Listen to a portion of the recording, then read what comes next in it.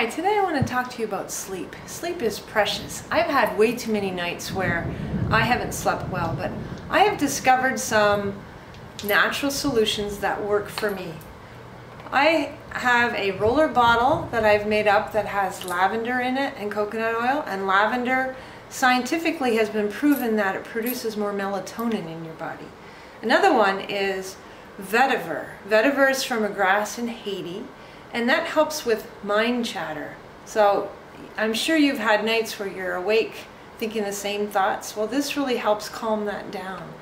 And then if I know that I'm not going to sleep well, I will take a Serenity gel cap. That is a natural product that doTERRA has put together that really helps you get into a deep sleep. So those are my things that I use. I'd love to hear what you use.